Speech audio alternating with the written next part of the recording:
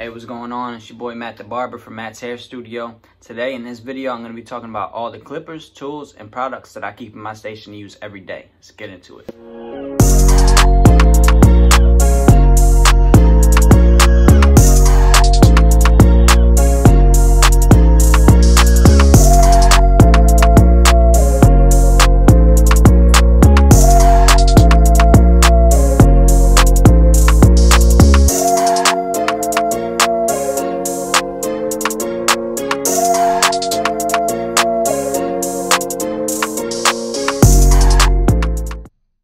So this is my station right here.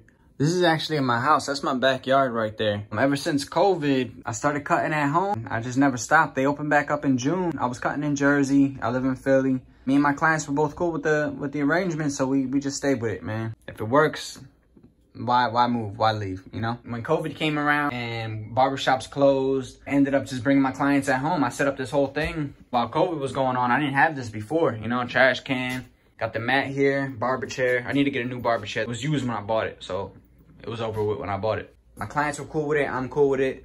Let's just keep it here. You know, this is literally the same station I had when I was at the barbershop.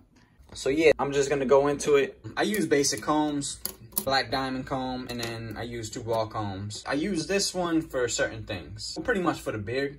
This one is good for scissoring, real good. These shears right here, all these shears are Kabod brand.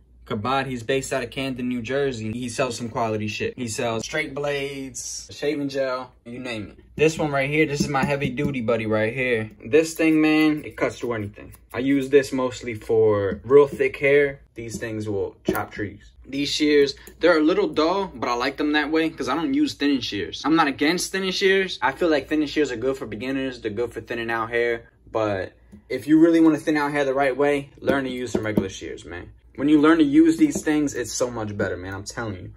Definitely get get your thumb work right, man, because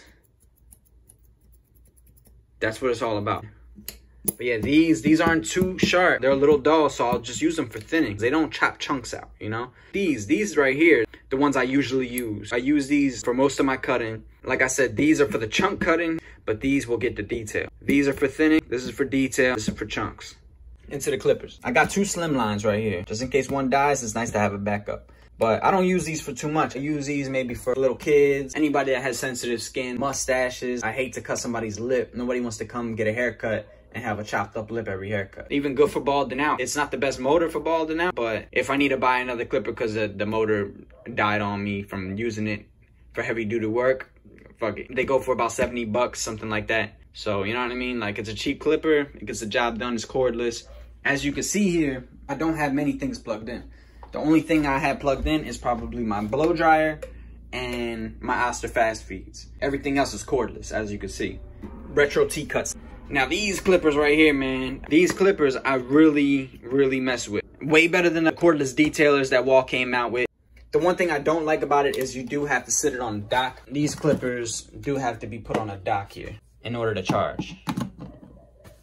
Which is a little annoying. If, if they're dying and you want to use them, you can't use them. As opposed to the slim lines, I could plug it in. It plugs in right there like a phone. Plug that thing in and get to cutting, you know? But these, if they're dying, I cannot use them, which sucks.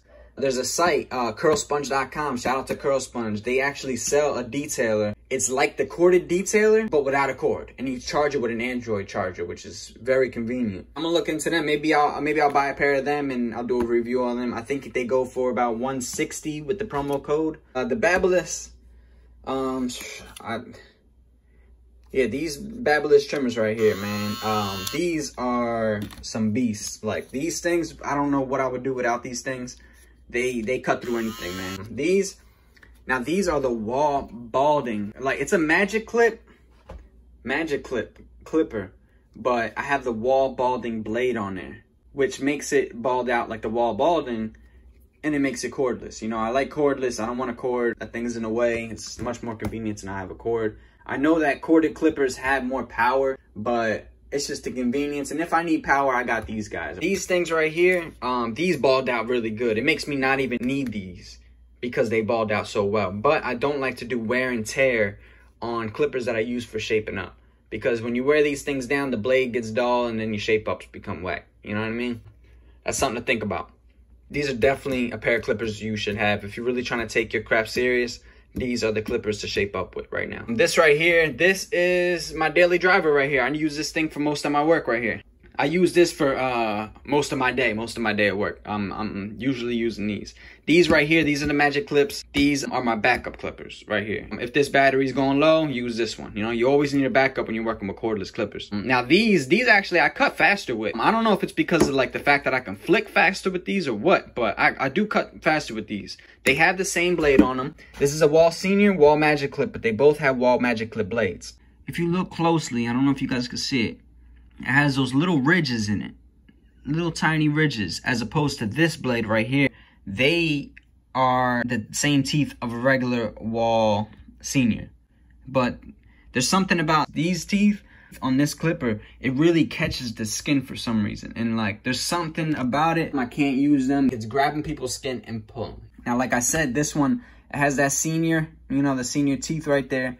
But this is the Wahl balding blade. I even took the leather off of it right there. You could see it's just one purpose, just for balding. Boom. And the reason I do that, it's better to use this as a workhorse because it has a stronger motor than most trimmers. You're trying to use shape up clippers and it's going to wear it down. It's going to wear your motor down. You need a workhorse. This is my workhorse. I'm really considering getting another pair of these because these bald out so well. These also have deep teeth in them, probably deeper teeth than the, uh, the Wahl balding blade.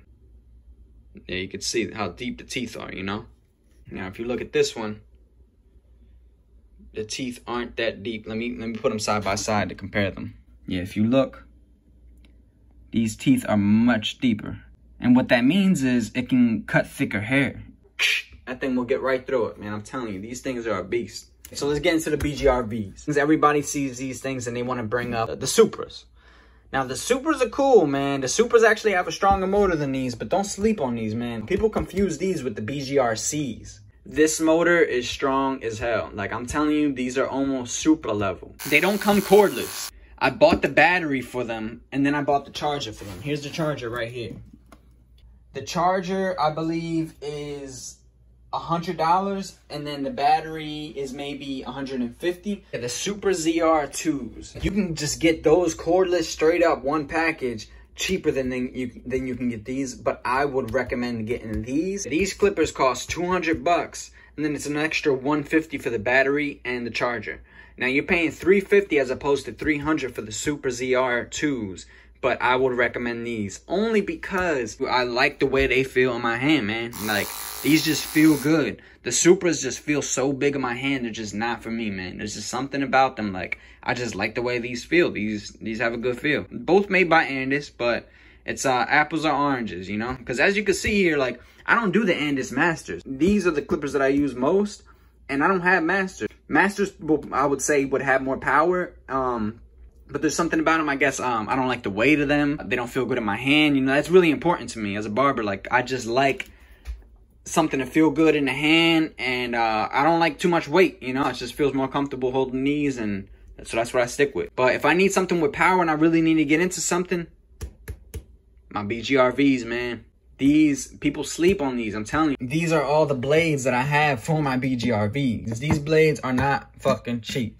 These blades are probably 30 to $40 a piece. I have all sorts of sizes ranging from zero to four. Now, the numbers are really weird. They're gonna say some weird shit like uh, three, three fourths, but um, when it comes down to it, this is a four. This is the outliner. And then you got the triple zeros, which of course is just a triple zero, which is closed. This is the zero A, which is that right there, zero A.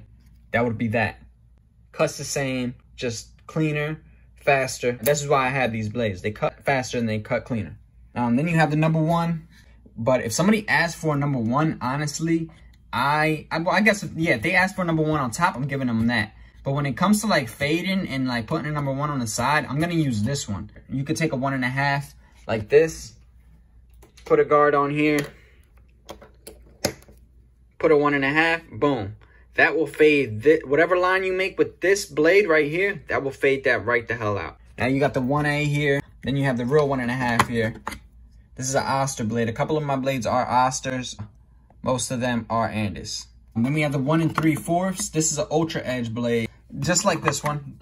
These are both Ultra Edge right here. Everybody says like Oster has the best blades, but Andis made these Ultra Edge blades, man, and uh, these things cut like butter, bro. These things cut so nice, it's crazy. And we have the number two, three and a half, which I would say cuts exactly like a three. If you're gonna use a three guard from a Wahl, this will cut maybe a little shorter. I, will, I guess I would compare it to more of a uh, Andis guard, Andis magnetic three. Uh, if somebody asks for a three and you give them that, they're not gonna ask you to go back to work. Sometimes if you use the Wahl three and they ask for a three, they might ask you to go back in there and do something else like a two and a half or a two. So this saves you some time. You know, you, you bring this down, they're gonna like that nice even three that they get. And then you have this guy.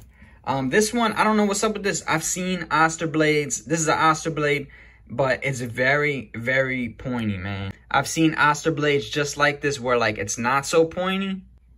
But this thing, like you really got to be careful with. You see how sharp that is. But I've seen ones, I guess Oster uh, realized how sharp they were making these and made these a little dull. I guess I could go in there with some sandpaper and kind of dull these things out because uh, these things are sharp, man. Cuts like a four. It says three and three fourths, but it cuts like a four. As you can see, it says 13 millimeters on there. And if you look at my number four, 13 millimeters. That's my number four.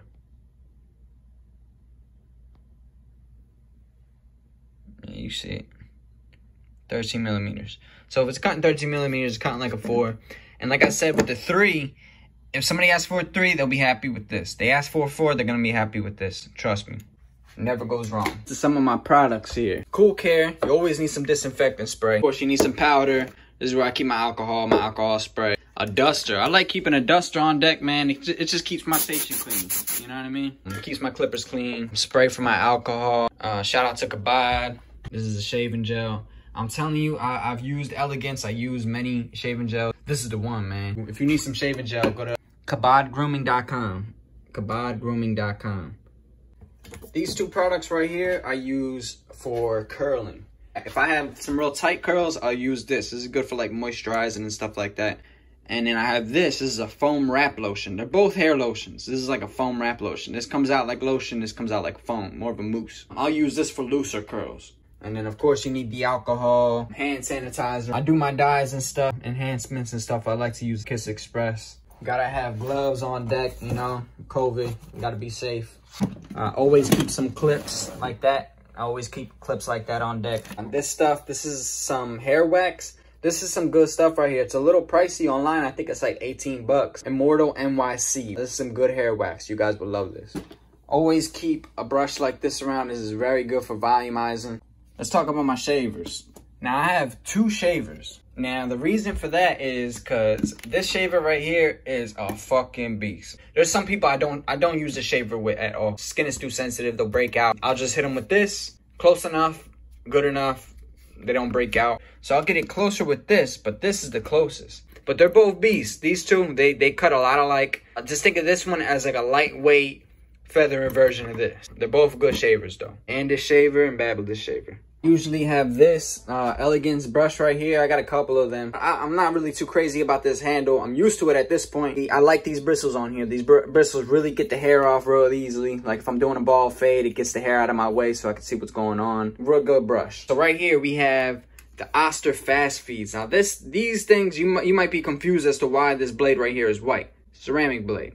These things are custom right here. Like I said, this is my only corded clipper. Here, the blade that it comes with is metal and it doesn't come zero gap like that. You can see how close that is. Now, this clipper, let's say you start out a fade, you started out with a, with a trimmer, bring a real bald, this thing will take that line out easy. This is literally all I use it for. As you can see here, I only have Wahl guards. Wahl guards is probably the reason why I even use Wahl. I'm not crazy about the magnetic guards for Andis.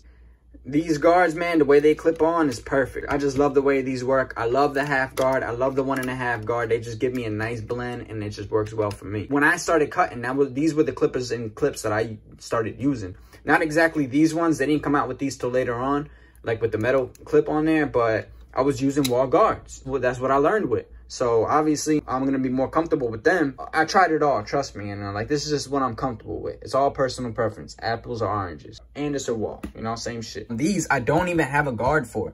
The magnetic guard, they say fits on these, but it doesn't. I'm telling you, you put a purple magnetic guard on this motherfucker right here, and that thing will be loose and it's not going to cut right. So there are guards you can use for these that will work all right, but I don't need guards. I just, I, I use my guards on my Wahl. And then when I'm dealing with bare blade on with a clipper on the skin, I'm using these. All right, so there you have it. Those are the clippers I like to keep in my station and use every day. I'm Matt the Barber from Matt's Hair Studio. Like, comment, and subscribe. Appreciate you guys.